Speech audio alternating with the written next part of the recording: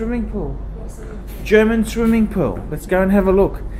This is the German center. This is German center, German dentist, German restaurant. It's all good. It's all happening. It's all very German. And uh, I really love it. I really do love this. This is the German center in Thailand.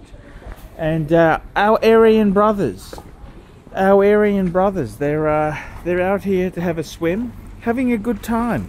You got to enjoy things. And uh, I just love, love a nice swimming pool. Look at this beautiful swimming pool. This is the German club. And uh, it's a little enclave here of Deutschland, right here in Bangers and uh, it's great to see. Great, great to see. And uh, Oktoberfest is coming, and the uh, the Thais and the Germans are into this. And I got to say, I love a good piss up. I really do love a great piss up, and uh, very, very exciting. Wonderful, wonderful place to be, and uh, I just love the Germans they've made a huge contribution to Thai culture. And uh, hey, it's time for us to unify. Let's bury the hatchet.